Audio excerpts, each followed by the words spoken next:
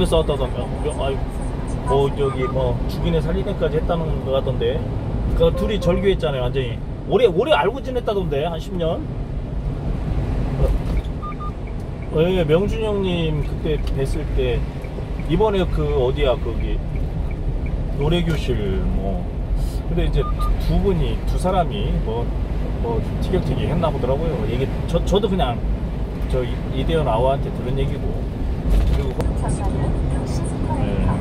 그거는 얘기 좀 할게요 형님. 아무튼 한번 통화 한번 해주세요. 네, 좀 이따가. 예, 예.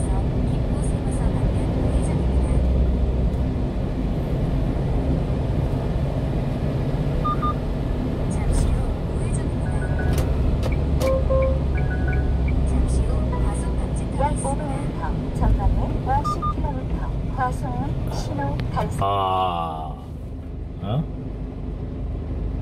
야, 목사 마음속에 그러면은 저기 목 예수님만 있어야지. 그래? 먹사, 먹사.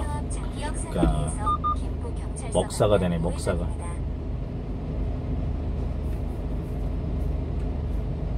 잘 지내지? 잘 지내?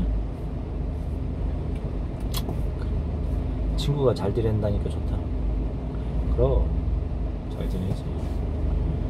아 영희가 그나저나 주중에 내 고기 한 덩어리 줄 거요. 목살 하나 줄게.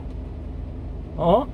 아이 주말 아이 그러니까 주일날 주일날 아 여기 들어 주일날 삶아갖고 그냥 그냥 저기